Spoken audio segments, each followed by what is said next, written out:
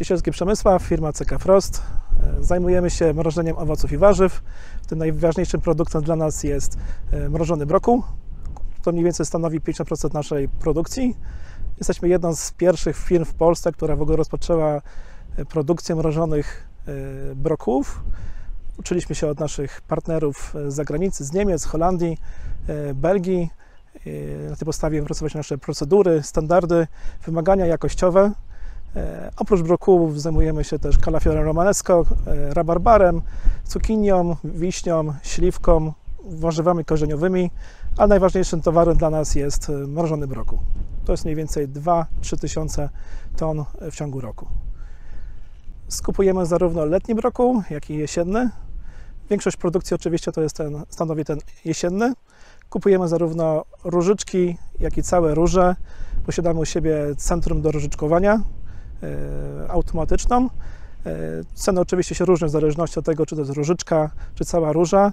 Mniej więcej cała róża stanowi połowę ceny e, różyczki, ze względu na wagę oczywiście. E, Produkujemy, tak jak wspomniałem wcześniej, i lato, i jesień, jeżeli chodzi, chodzi o odmiany. Daję tutaj wybór dostawcy, on najlepiej zna swoje pole. Wychodzimy z takiego założenia, że on najlepiej wie, co dobrać. Zachęcamy go, żeby miał kilka odmian w różnych okresach posadzone, żeby zdążył zebrać i żeby rozłożył ryzyko w zależności od odmiany. Skupujemy broku zarówno z najbliższych okolic i dalszych miejsc. Głównie to są Kujawy, północne, południowe, okolice Mazowsza, powiat, y, województwo łódzkie oraz Wielkopolska. Mniej więcej 150 km od naszego zakładu, to taki promień, z jakiego okręgu skupujemy brokuły do naszego firmy. Y, Zarówno różyczki i róże. Róże potrafią w większej odległości pokonywać. Nawet z naszych okolic zdarzało się nawet z, Ma- z Małopolski do nas przyjeżdżały brokuły w całej róży do różyczkowania. Co do cech pożądanych przez e, przemysł do różyczkowania, to wielkość róży musi być do 6 cm. Zdrowe, zbite, zwarte, e, przede wszystkim bez śladów żerowania, e, owadów, insektów. One po prostu są cechami takimi dyskwalifikacyjnymi. O wszystkim możemy z rolnikiem dyskutować, tylko nie o insektach, które są wewnątrz e, brokuła. Ważne jest też to zdrowotność, zbite i to są takie najważniejsze cechy, które są wymagane. Brak oznak bakteriozy, chorób bakteryjnych to, to jest podstawa do pozytywnej oceny. Jeżeli chodzi o największe problemy, jakimi zmagają się rolnicy, to pierwsze to są wycofane środki ochrony roślin, które zanikają. Między innymi dlatego się spotkaliśmy dzisiaj na spotkaniu, jak można innymi środkami niechemicznymi zwalczać różne problemy e, w uprawie brokułów. Kolejną ważną rzeczą jest problem z siłą ludzką. Coraz trudniej jest mieć ludzi do pracy w gospodarstwie, dlatego też wychodzimy naprzeciw i też przyjmujemy broków całej róży, co mocno ogranicza e, zapotrzebowanie na siłę ludzką w gospodarstwie. Kolejna rzecz to teraz, w lato, kwestie wody, brak dostępu do wody. e, Nie padało za dużo, troszeczkę się ostatni tydzień popadało więcej, ale to jest problem w rolnictwie, w szczególności też brokułów. A jeżeli chodzi o jesień, to choroby bakteryjne. I bardzo ciekawe właśnie prezentacje były dzisiaj na tym spotkaniu odnośnie jak tutaj sobie radzić z bakteriozą, chorobami baktery- bakteryjnymi oraz jak przywracać powłokę woskową na brokuła, żeby był bezpieczny na jesieni. Sytuacja na Ukrainie, wojna, która tam wybuchła, to miała wpływ na e, rynek mrożonek w Polsce. Przede wszystkim na owoce.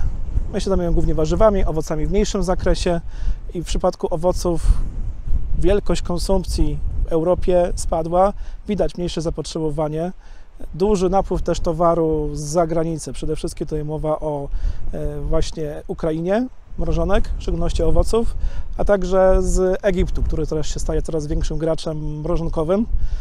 Jeżeli chodzi o zbiory, ilość zakontraktowana jest no, większa niż rok temu. Widać, że trend jest taki, że rolnicy chcą uprawiać brokuły jest to takie warzywo przyszłościowe. Musimy się tylko pilnować pod względem cen, że po prostu koszt uprawy, koszt surowca nie może przekraczać jakiejś rozsądnej ceny, ponieważ konkurencja zagraniczna e, będzie mogła to wykorzystać i, i, i mieli problem ze sprzedażą mrożonego towaru. Więc po prostu trzeba szukać oszczędności. Między innymi na dzisiejszym spotkaniu były podawane przykłady, jakich środków można użyć, które nie są drogie, a skuteczne. Trzeba myśleć nad ograniczeniem tych kosztów w samym gospodarstwie, czyli na przykład różyczkowanie już w zakładzie, albo różyczkowanie mechanicznie u gospodarza. E, Coraz więcej się myśli o tym, jak tu zbierać brokuły mechanicznie. I też to jest jakiś trend, wyzwanie dla e, rolników, dla producentów maszyn. I taki widać trend, że w tym kierunku będzie zmierzała mechanizacja w przypadku brokułów. Jeżeli chodzi o produkcję brokuła w Europie, to tak jak dotychczas było, największym producentem jest Hiszpania. Później w dalszej kolejności są inne kraje, między innymi Anglia i Polska, Włochy, ale na przemysł dominuje oczywiście Hiszpania razem z Polską. E, I te dwa kraje najwięcej produkują. Można powiedzieć, że one się wzajemnie uzupełniają, czyli po prostu dostarczają tych samych klientów w Europie. E, Hiszpania, Francja, Niemcy, Anglia, e, te kierunki są najbardziej pożądane. Niemiecki kierunek, zarówno polski, jak i hiszpański tam dociera. Oczywiście Polska, dominuje oczywiście polska produkcja. E, Na południe Europy to zarówno Hiszpania, jak i Polska. E, Pojawiają się też egzotyczne rynki, czyli wcześniej wspomniane e, egipski brokuł pojawia się, jakościowo jeszcze odbiega jakością od tego europejskiego. Dlatego musimy walczyć jakością, żeby obronić się przed tym zewnętrznym rynkiem.